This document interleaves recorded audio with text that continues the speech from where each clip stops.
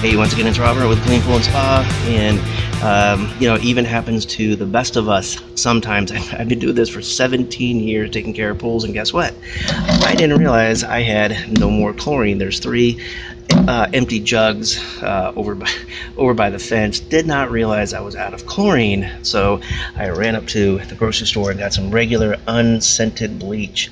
Uh, be sure it's unscented. Now, main ingredient here uh, the same. It's right there. I don't know if you can see that.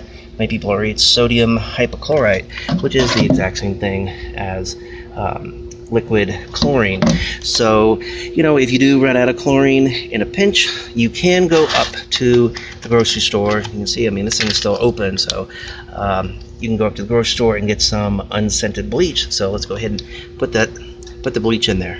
So you want to do this at night, get it kind of close down in there um, you have to remember that bleach does not pours as well normally as liquid chlorine, so you want to go a little slower.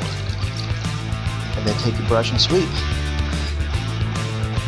So have the confidence in using bleach when uh, you run out of your liquid chlorine. So check out the description box below. Link to my website, cleanpoolandspa.com. Lots of great information over there. Remember my ebooks too. Clear Blue Pool, How to Clear Up a Green Pool, and Solutions to Common Pool Water Problems. And if you want a personal consult, uh, just go ahead and click that in the description box, and I will talk to you. So, as always, be safe and happy swimming. Bye.